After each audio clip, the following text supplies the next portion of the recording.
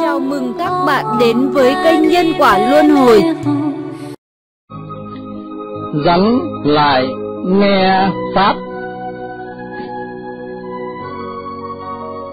Chú rắn Ngày Chủ nhật 20 tháng 6 năm 1982 Đúng lúc cử hành Pháp duyên, Bốn chúng đệ tử trong vạn Phật thành mới cùng nhau niệm A-di-đà Phật trên đường về đại điện thì phát hiện một con rắn lục có vằn nằm ngay nơi cửa trước đại điện, dài khoảng ba bốn bộ, hình dạng rất nhỏ và dài. Đại chúng thấy rắn thì sợ không dám tiến vào, bấy giờ vị tăng giám thị, thầy hằng vô, muốn đem con rắn vứt ra ngoài, xong lúc đó thì hòa thượng cũng đang tiến lại, ngài mỉm cười nói rằng không cần thiết đâu, tất cả chúng sinh đều có Phật tánh, con rắn tới là để thân cận tam bảo, để nghe pháp, không nên đuổi nó. Kỳ lạ thay, con rắn này không giống như những con rắn bình thường khác, mình nó trườn dài ra mặt đất, tuy có trăm người bước qua mình mà nó không có sợ hãi gì cả, nó hết sức thuần thục và hiền lành. Khi hòa thượng lên đài thuyết pháp thì ngài dạy rằng, kêu con rắn đó vào đây mà nghe pháp đi. Con rắn nghe như vậy thì lập tức tiến vào, nó bò từ từ vào đến ngay giữa chính điện, không hề làm kinh sợ những người hai bên. Rồi từ nơi đại điện ở phía trái, nó bò qua bên phải, rồi mới nhiễu quanh tượng Phật một vòng, xong từ từ nằm phục xuống ở pháp tòa. Cũng giống như là quỳ trước tượng Phật vậy, nằm in nghe Pháp. Hòa thượng mới khai thị cho nó như vậy, nhất thiết chúng sinh, giai hữu Phật tánh, giai kham tác Phật. Đó là câu nói từ kim khẩu của Đức Phật Thích Ca Mâu Ni, chỉ vì vọng tưởng chấp trước nên chúng sinh không chứng được trí huệ đức tướng của Như Lai.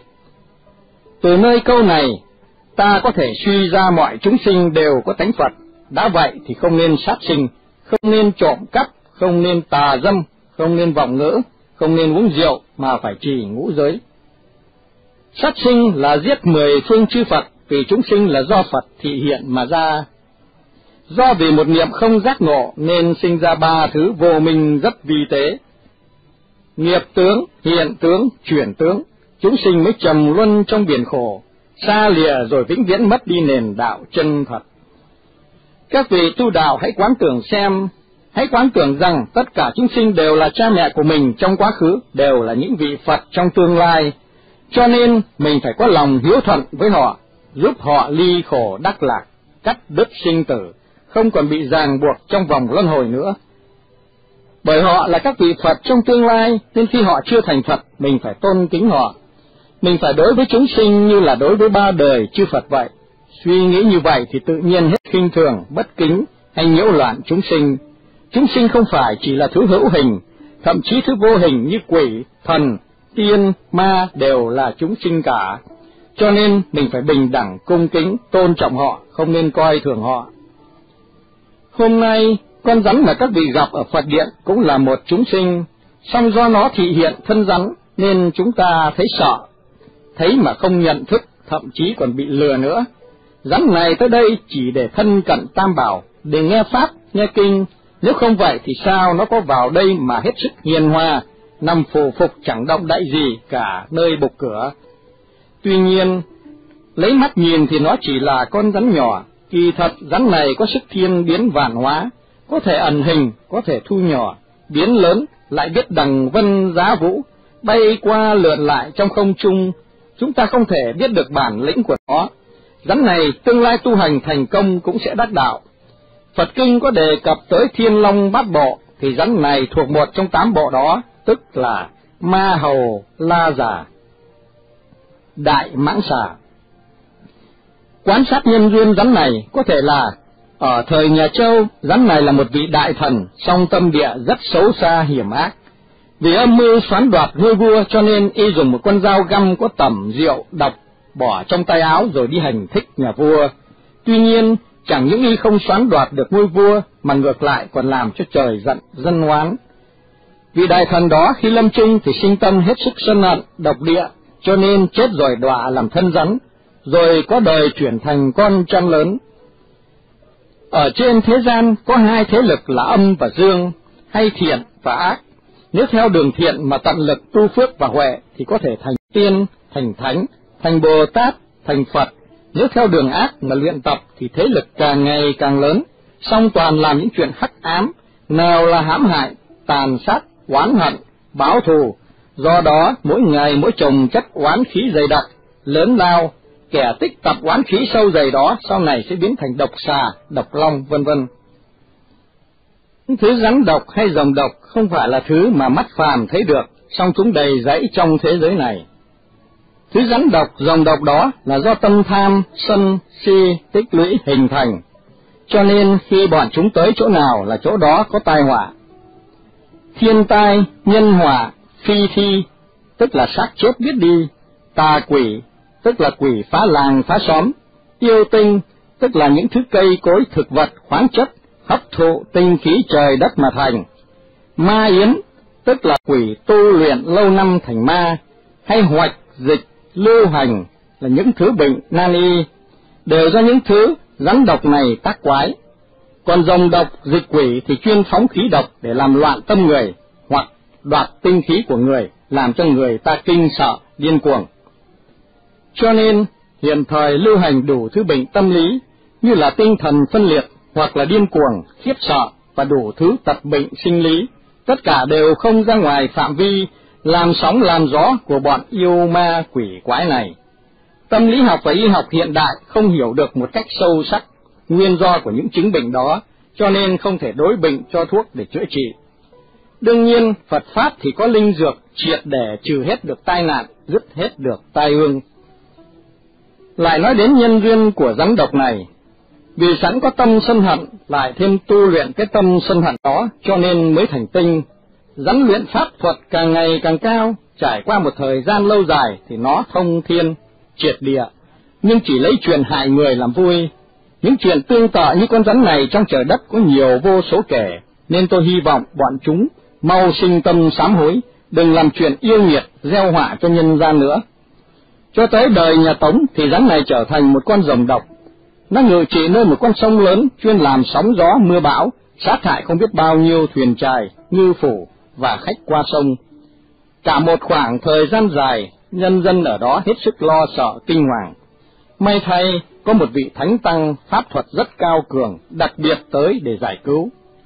Vì đó, tay cầm tích trượng, đứng bên bờ sông lớn, tiếng khiển trách rồng độc. Rồng độc nghe được thì vô cùng tức giận, mới trổ hết bản lĩnh, hiện ra thân hình mãng xà dài ngàn trượng. song vị pháp sư vì có kim cang tam muội chấp trì, nên chẳng hề sợ hãi. Ngài dùng pháp câu triệu và pháp hàng phục, hai phương pháp để chế phục quỷ thần. Trải qua ba ngày ba đêm sống chết chiến đấu với nó, cuối cùng thì Ngài chiết phục được dòng độc. Ta không thắng tránh, khi ác thuật bị phá rồi thì dòng độc chẳng còn cách gì khác hơn là phải đầu hàng. Bây giờ vị Pháp sư này mới thuyết pháp rằng, tất cả mọi thứ đều là khổ, là không, là vô thường, là vô ngã, và chỉ có cái nghiệp là theo thân mình. Đồng thời, Ngài dạy nó nên sinh lòng từ bi, dùng pháp thuật để giúp ích chúng sinh, chứ không thể gia hại sinh linh nữa. Rồng nghe pháp rồi thì thức tỉnh, nên được con mắt thanh tịnh, vị pháp sư mới truyền thọ cho nó tam quy ngũ giới, rồi bảo nó tới một sơn đạo nọ để tu hành, đừng làm não loạn nhân dân nữa. Dòng độc liền tuân theo lời dạy, từ đời Tống đến nay đã trải qua mấy trăm năm lịch sử rồi, con rồng đó đã trở thành một trong thiên long bát bộ, thần thông biến hóa vô cùng. Có lần, trong vạn Phật Điện có một vị tỳ kheo ni nói rằng, mấy ngày trước khi đi ngang qua đại hỷ xả viện, tôi thấy đuôi con rắn này thò ra ngoài, cho nên tôi lấy cây gấp bỏ vô hộp gỗ, định đem đi xa rồi thả để nó đừng gây hại người. Ai ngờ chỉ quay đầu lại, mở hộp ra thì rắn đã biến mất rồi. Rõ ràng rắn không cách gì có thể thoát ra được, nhưng lạ thay, thật là nó có thần thông. Hòa thượng cười mà nói rằng, con rắn này tôi đã biết nó từ trước rồi. Hai mươi năm trước khi tôi còn ở chùa Từ Hưng trên núi Đại Dư ở Hương Cảng, thì nó đã từng tới chùa để nghe kinh. Tuy nó không làm hại ai, nhưng ai cũng đều sợ nó, sợ cái tướng rắn. Có lần có người nhặt nó bỏ trong lồng, rồi đem đi thật là xa, không biết bao nhiêu dặm. Chừng khi mở hộp để thả nó thì rắn không cánh mà bay mất. Ngày nay, Phật Pháp truyền sang Tây Phương, rắn này cũng không chối từ đường xa xa xôi bay qua Mỹ để hộ Pháp. Sau cùng, Hòa Thượng giảng dạy như sau, Chúng sinh học Phật cần phải tin sâu nhân quả. Nếu không trồng nhân ác thì tự nhiên chẳng kết quả ác. Nếu trồng nhân tốt thì tương lai chắc chắn sẽ được quả tốt. Nhân quả không sai một mảy may. Mình giết cha người khác thì có người giết cha mình. Mình giết anh người khác thì người khác sẽ giết anh mình. Đừng nghĩ rằng có thể tùy tiện làm chuyện ác, vì làm chuyện ác sẽ hết sức tổn hại cho mình. Vì sao? Vì trời cao có đức hiếu sinh, không muốn cho chúng sinh làm hại chúng sinh. Khi mình làm sai với lý nhân quả, thì thân người mà mất đi vạn kiếp khó có lại được.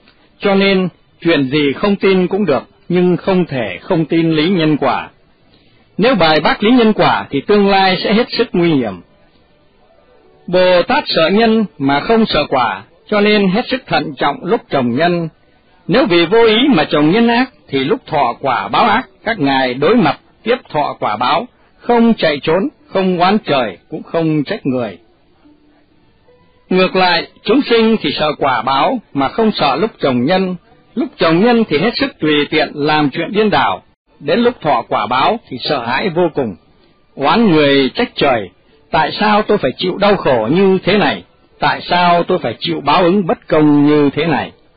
Các vị có biết đâu rằng, nếu như khi xưa không trồng nhân như vậy, thì bây giờ sau gặt quả như thế. Hôm nay gặp nhân duyên này, có thiên long bát bộ hiện thân thuyết pháp, cho nên tôi nhân cơ hội nói cho các vị biết tiền nhân hậu quả. Chỉ nhân nhất trước thác, thâu liễu mãn bàn kỳ, nghĩa là chỉ đi sai một nước mà thua cả ván cờ, sai lầm chỉ một niệm mà kiếp vận khó vãn hồi. May thay là con rắn này đã quy y tam bảo, tương lai nó còn có cơ hội để minh tâm kiến tánh. Nếu các vị không tin vào nhân duyên này thì cứ tự mình thí nghiệm xem, còn nếu tin nhân quả thì đừng nên nghi ngờ gì chuyện này cả.